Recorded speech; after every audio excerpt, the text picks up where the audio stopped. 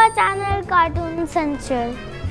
سیدنا داؤد علیہ السلام کی وفات کے بعد سیدنا سلیمان علیہ السلام نبوت اور بادشاہ میں اپنے والد کے وارث ہوئے۔ وہ نہایت سمجھدار تھے۔ انہوں نے نہایت حکمت عملی سے بنی اسرائیل پر حکومت کی۔ وہ بڑے عدل و انصاف والے تھے۔ ان کے پاس اگر کوئی مقدمہ لایا جاتا تو وہ فوراً حقیقت حال سمجھ لیتے تھے۔ حق و انصاف کے ساتھ فیصلے کرتے تھے۔ اللہ تعالیٰ نے انہیں متعدد معجزات سے نواز رکھا تھا۔ انہیں پرندوں کی بولیاں آتی تھیں یعنی پرندے اپنی اپنی زبان میں جو باتیں کرتے تھے، وہ انہیں سمجھ لیتے تھے۔ حکومت کے لیے جن چیزوں کی بادشاہ کو ضرورت ہوتی ہے، وہ ساری چیزیں اور سہولتیں ان کو میسر تھیں۔ ان کے پاس ہتھیار تھے، لشکر اور سپاہی تھے۔ انسان، جن، پرندے اور حیوان سب ان کے تابع تھے۔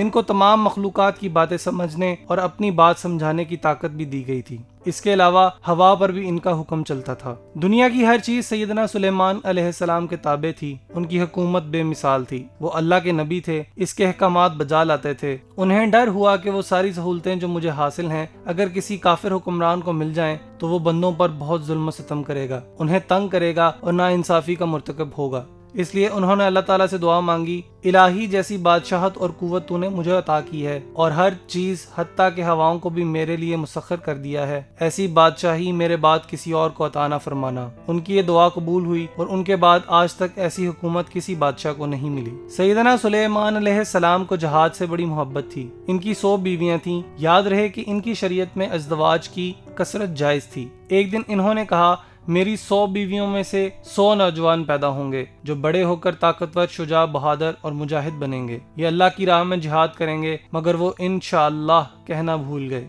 چنانچہ نتیجہ یہ ہوا کہ سوائے ایک عورت کے کسی کے ہاں اولاد نہ ہوئی۔ پیارے نبی سیدنا محمد صلی اللہ علیہ وسلم نے ارشاد فرمایا، اگر سلیمان علیہ السلام انشاءاللہ کہہ دیتے تو آپ کی خواہش پوری ہو جاتی۔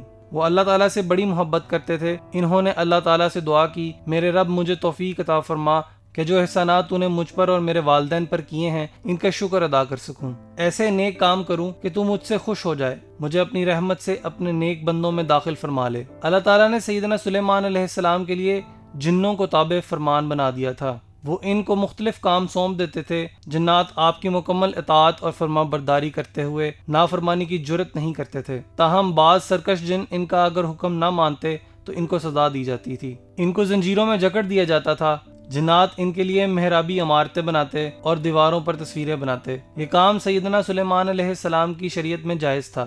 جنات بڑے بڑے حوض بناتے اور بڑی بڑی دیگیں بناتے جو ایک خاص جگہ رکھی جاتی۔ ان میں کھانا پکا کر غریب انسانوں کو اور بعض جانوروں کو کھلایا جاتا تھا۔ سرکش جن سلیمان علیہ السلام کے حکم پر محلات اور قلعے تعمیر کرتے تھے، سمندر میں ڈبکی لگا کر قیمتی پتھر اور موتی نکالتے اور ہر طرح کی خدمت بجا لاتے تھے۔ سیدنا سلیمان علیہ السلام کے لشکر میں انسان، جنات، حیوانات، پرندے سبھی شامل تھے۔ اس لشکر میں ہد ہد بھی تھا۔ اس کا فرض یہ تھا کہ سفر کے دوران کسی بنجر مقام پر پانی کی ضرورت محسوس ہو تو اللہ تعالیٰ کی عطا کردہ صلاحیت سے اندازہ کر کے بتا دیتا تھا کہ کہاں اور کتنی کھدائی کرنی پڑے گی تو پانی مل سکتا ہے۔ اس کے بتانے پر فوج کے لوگ کھدائی کر کے پانی حاصل کر لیتے تھے۔ ایک دن سیدنا سلیمان علیہ السلام نے ہد ہد کو حاضر کرنے کا حکم دیا تو معلوم ہوا کہ وہ موجود نہیں۔ انہوں نے پوچھا، کیا بات ہے ہد ہد نظر نہیں آ رہا۔ واقعی وہ غیر حاضر ہے۔ میں اسے سخت سزا دوں گا یا ذبح کر دوں گا یا وہ میرے سامنے کوئی واضح دلیل لے کر آئے۔ جب ہد ہد واپس آیا تو اس سے غیر حاضر ہونے کا سبب پوچھا گیا۔ اس نے کہا کہ وہ یمن گیا تھا۔ وہاں اس نے دیکھا کہ ایک عورت لوگوں پر حکومت کر رہی تھی اور وہ لوگ سورج کی پوجا کر رہے تھے۔ سیدنا سلیمان علیہ السلام نے ہد کے ذریعے سبا کی ملکہ بلکیس کو خط بھیجا، جس میں اسے اور اس کی قوم کو اکیلے رب کی عبادت کی دعوت دی گئی تھی۔ ان سے کہا گیا کہ وہ سرکشی کے مرتکب نہ ہوں اور مسلمان بن کر ان کے پاس آ جائیں۔ ہد ہد یہ خط لے کر جب ملکہ بلکیس کے پاس پہنچا تو اس نے خط پڑھنے کے بعد وزیروں اور مشیروں کو طلب کیا۔ ان سے خط کے بارے میں مشورہ کیا۔ انہوں نے کہا، ہم بڑی زبردست قوت اور طاقت کے مالک ہیں۔ آپ کو سلیمان کے سامنے سرنگوں ہونے کی ضرورت نہیں ہے۔ مگر بلکیس نہایت سمجھدار عورت تھی۔ اسے معلوم ہو گیا کہ سلیمان علیہ السلام کے پاس بہت بڑی فوج ہے، جس کا مقابلہ ہمارے لیے ناممکن ہوگا۔ اس نے کہا کہ میں سلیمان علیہ السلام کو چند قیمتی تحائف بھیجتی ہوں، پھر دیکھتی ہوں کہ قاصد کیا جواب لے کر لوٹتے ہیں۔ اس کا خیال تھا کہ تحائف دے کر ان کو خوش کر لے گی اور اپنی سلطنت بچا لے گی۔ ملکہ بلکیس نے ایک وفد بھاری تحائف کے ساتھ سیدنا سلیمان علیہ السلام کی خدمت میں بھیجا۔ تو حضرت سلیمان علیہ السلام نے وفد سے کہا کہ تم اپنے تحائف واپس لے جاؤ۔ یاد رکھو، اگر مسلمان نہ ہوئے تو ہم تمہارے مقابلہ میں ایک ایسا عظیم لشکر لائیں گے جس کے ساتھ لڑنے کی تمہیں طاقت نہ ہوگی۔ اس جواب کے بعد انہیں اطاعت قبول کرنے کے سوا کوئی چارہ نہ نظر آیا۔ ایک مرتبہ سیدنا سلیمان علیہ السلام اپنے لشکر کے ہمراہ تشریف لے جا رہے تھے۔ جب چوینٹیوں کے ایک میدان میں پہنچے تو ایک چوینٹی نے کہا، چوینٹیوں، اپنے اپنے بلوں میں داخل ہو جاؤ۔ ایسا نہ ہو کہ سلیمان علیہ السلام اور اس کے لشکری تمہیں کچل ڈالیں اور انہیں تمہاری پامالی کی خبر بھی نہ ہو۔ جب سیدنا سلیمان علیہ السلام نے اس کی بات سنی تو ہنس پڑے اور اس انعام الہی پر کہ وہ چوینٹیوں کی آواز اور گفتگو بھی سمجھ سکتے تھے۔ اللہ تعالیٰ کا شکر ادا کیا۔ ملکہ بلکیس نے بلاخر سیدنا سلیمان علیہ السلام کے پاس متی اور فرما بردار ہو کر جانے کا فیصلہ کیا۔ جب اس کی روانگی کا علم سیدنا سلیمان علیہ السلام کو ہوا، انہوں نے جنات سے پوچھا کہ تم میں سے کون ہے جو اس کے یہاں پہنچنے سے قبل اس کا تخت یہاں لے آئے۔ ایک طاقتور جن کہنے لگا، جناب، آپ کے اس جگہ سے اٹھنے سے پہلے پہلے میں لے آؤں گا۔ اور ایک شخص جس کو کتاب الہی کا علم تھا، کہنے لگا، میں آنکھ جھپکنے سے پہلے حاضر کیے دیتا ہوں۔ واقعی اس نے لمحہ بھر میں تخت بلکیس کو حاضر کر دیا سیدنا سلیمان علیہ السلام نے حکم دیا کہ اس تخت میں بعض معمولی تبدیلیاں کر دی جائیں، تاکہ ہم دیکھیں کہ بلکیس اپنے تخت کو پہچان بھی سکتی ہے یا نہیں۔ جب بلکیس وہاں پہنچی تو اس سے پوچھا گیا، کیا یہ آپ ہی کا تخت ہے؟ وہ کہنے لگی، لگتا تو وہی ہے۔ اور ہمیں تو سلیمان کی شان و عظمت کا پہلے سے ہی علم ہو گیا تھا۔ ہم ان کے متی اور فرما بردار بن کر حاضر ہیں۔ جنات نے شفاف شیشے کا ایک محل بھی تعمیر کر دیا۔ اس کے نیچے پانی بہتا تھا اور پانی پر شیشے کا فرش تھا۔ اس پانی میں مچھلیاں اور دوسرے آبی جانور رکھے گئے۔ جب ملکہ بلکی اس محل میں پہنچی تو شیشے کا فرش دیکھ کر وہ سمجھی کہ یہ پانی کا حوض ہے۔ اس نے اپنی پنڈلیوں کا کپڑا اوپر چڑھا لیا۔ سیدنا سلیمان علیہ السلام ان سے کہنے لگے، تمہیں غلطی لگی ہے، یہ تو شیشے سے بنی ہوئی عمارت ہے۔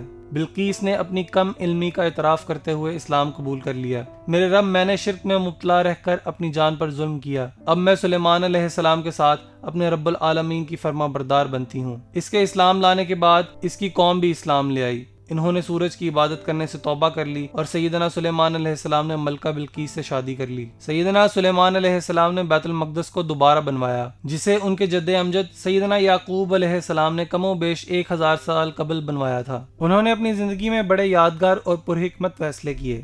جب ان کی عمر پچاس سال سے زیادہ ہو گئی تو ان کی کرسی پر بیٹھے بیٹھے وفات ہو گئی۔ وفات سے پہلے انہوں نے جنات کو بعض کام کرنے کا حکم دے رکھا تھا۔ وفات ہونے کے باوجود وہ کرسی پر اصا کے سہارے بیٹھے رہے۔ جنات کو یہی خیال تھا کہ وہ زندہ ہیں اور ان کی نگرانی کر رہے ہیں۔ اس لیے وہ بدستور کام کرتے رہے۔ اس دوران گھن کے کیڑے نے ان کا اصا کھانا شروع کر دیا۔ ایک سال کے بعد اصا کو کیڑے نے پوری طرح کھا لیا۔ جب اصا گر پڑا تو ان کا جسم مبارک بھی گر پڑا۔ اب جنات کو معلوم ہوا کہ سیدنا سلیمان علیہ السلام تو وفات پا چکے ہیں۔ اس نے کہا، اے میرے رب، مجھے بخش دے اور مجھے ایسی بادشاہی عطا کر کہ وہ میرے بعد کسی کے لائق نہ ہو۔ بلا شبہ تو ہی بہت عطا کرنے والا ہے۔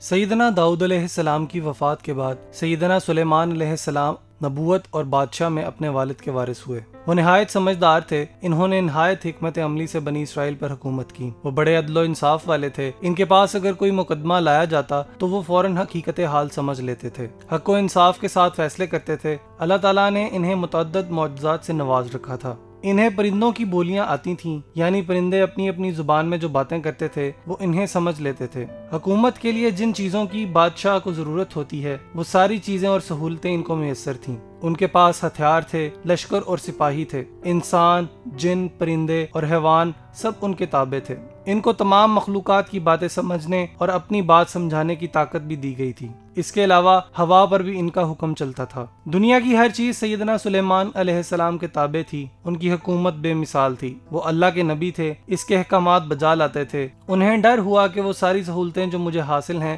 اگر کسی کافر حکمران کو مل جائیں، تو وہ بندوں پر بہت ظلم و ستم کرے گا۔ انہیں تنگ کرے گا اور نا انصافی کا مرتکب ہوگا۔ اس لیے انہوں نے اللہ تعالیٰ سے دعا مانگی، الہی جیسی بادشاہت اور قوت تو نے مجھے عطا کی ہے، اور ہر چیز حتیٰ کے ہواؤں کو بھی میرے لیے مسخر کر دیا ہے۔ ایسی بادشاہی میرے بعد کسی اور کو عطا نہ فرمانا۔ ان کی یہ دعا قبول ہوئی اور ان کے بعد آج تک ایسی حکومت کسی بادشاہ کو نہیں ملی۔ سیدنا سلیمان علیہ السلام کو جہاد سے بڑی محبت تھی۔ ان کی سو بیویاں تھیں۔ یاد رہے کہ ان کی شریعت میں ازدواج کی کثرت جائز تھی۔ ایک دن انہوں نے کہا میری سو بیویوں میں سے سو نوجوان پیدا ہوں گے جو بڑے ہو کر طاقتور، شجاع، بہادر اور مجاہد بنیں گے۔ یہ اللہ کی راہ میں جہاد کریں گے، مگر وہ انشاءاللہ کہنا بھول گئے۔ چنانچہ نتیجہ یہ ہوا کہ سوائے ایک عورت کے کسی کے ہاں اولاد نہ ہوئی۔ پیارے نبی سیدنا محمد صلی اللہ علیہ وسلم نے ارشاد فرمایا، اگر سلیمان علیہ السلام انشاءاللہ کہہ دیتے تو آپ کی خواہش پوری ہو جاتی۔ وہ اللہ تعالیٰ سے بڑی محبت کرتے تھے۔ انہوں نے اللہ تعالیٰ سے دعا کی، میرے رب مجھے توفیق عطا فرما۔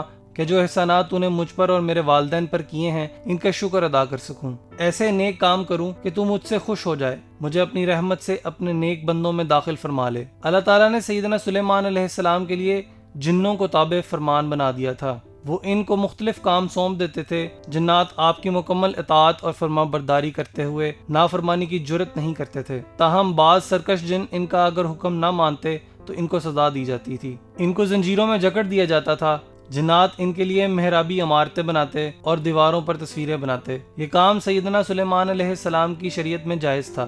جنات بڑے بڑے حوض بناتے اور بڑی بڑی دیگیں بناتے جو ایک خاص جگہ رکھی جاتی ان میں کھانا پکا کر غریب انسانوں کو اور بعض جانوروں کو کھلایا جاتا تھا۔ سرکش جن سلیمان علیہ السلام کے حکم پر محلات اور قلعے تعمیر کرتے تھے، سمندر میں ڈبکی لگا کر قیمتی پتھر اور موتی نکالتے اور ہر طرح کی خدمت بجا لاتے تھے۔ سیدنا سلیمان علیہ السلام کے لشکر میں انسان، جنات، حیوانات، پرندے سبھی شامل تھے۔ اس لشکر میں ہد ہد بھی تھا۔ اس کا فرض یہ تھا کہ سفر کے دوران کسی بنجر مقام پر پانی کی ضرورت محسوس ہو تو اللہ تعالیٰ کی عطا کردہ صلاحیت سے اندازہ کر کے بتا دیتا تھا کہ کہاں اور کتنی کھدائی کرنی پڑے گی تو پانی مل سکتا ہے۔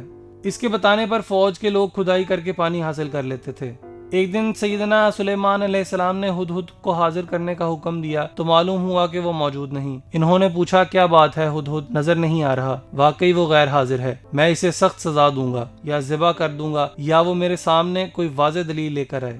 جب ہد ہد واپس آیا تو اس سے غیر حاضر ہونے کا سبب پوچھا گیا۔ اس نے کہا کہ وہ یمن گیا تھا۔ وہاں اس نے دیکھا کہ ایک عورت لوگوں پر حکومت کر رہی تھی اور وہ لوگ سورج کی پوجا کر رہے تھے۔ سیدنا سلیمان علیہ السلام نے حدود کے ذریعے سبا کی ملکہ بلکیس کو خط بھیجا، جس میں اسے اور اس کی قوم کو اکیلے رب کی عبادت کی دعوت دی گئی تھی۔ ان سے کہا گیا کہ وہ سرکشی کے مرتکب نہ ہوں اور مسلمان بن کر ان کے پاس آ جائیں۔ ہد ہد یہ خط لے کر جب ملکہ بلکیس کے پاس پہنچا تو اس نے خط پڑھنے کے بعد وزیروں اور مشیروں کو طلب کیا، ان سے خط کے بارے میں مشورہ کیا۔ انہوں نے کہا، ہم بڑی زبردست قوت اور طاقت کے مالک ہیں، آپ کو سلیمان کے سامنے سرنگو ہونے کی ضرورت نہیں ہے۔ مگر بلکیس نہایت سمجھدار عورت تھی۔ اسے معلوم ہو گیا کہ سلیمان علیہ السلام کے پاس بہت بڑی فوج ہے، جس کا مقابلہ ہمارے لیے ناممکن ہوگا۔ اس نے کہا کہ میں سلیمان علیہ السلام کو چند قیمتی تحائف بھیجتی ہوں، پھر دیکھتی ہوں کہ قاصد کیا جواب لے کر لوٹتے ہیں۔ اس کا خیال تھا کہ تحائف دے کر ان کو خوش کر لے گی اور اپنی سلطنت بچا لے گی۔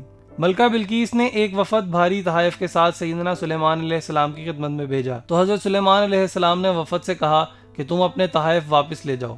یاد رکھو، اگر مسلمان نہ ہوئے تو ہم تمہارے مقابلہ میں ایک ایسا عظیم لشکر لائیں گے جس کے ساتھ لڑنے کی تمہیں طاقت نہ ہوگی۔ اس جواب کے بعد انہیں اطاعت قبول کرنے کے سوا کوئی چارہ نہ نظر آیا۔ ایک مرتبہ سیدنا سلیمان علیہ السلام اپنے لشکر کے ہمراہ تشریف لے جا رہے تھے۔ جب چوینٹیوں کے ایک میدان میں پہنچے تو ایک چوینٹی نے کہا، چوینٹیوں اپنے اپنے بلوں میں داخل ہو جاؤ۔ ایسا نہ ہو کہ سلیمان علیہ السلام اور اس کے لشکری تمہیں کچل ڈالیں اور انہیں تمہاری پامالی کی خبر بھی نہ ہو۔ جب سیدنا سلیمان علیہ السلام نے اس کی بات سنی تو ہنس پڑے اور اس انعام الہی پر کہ وہ چوینٹیوں کی آواز اور گفتگو بھی سمجھ سکتے تھے۔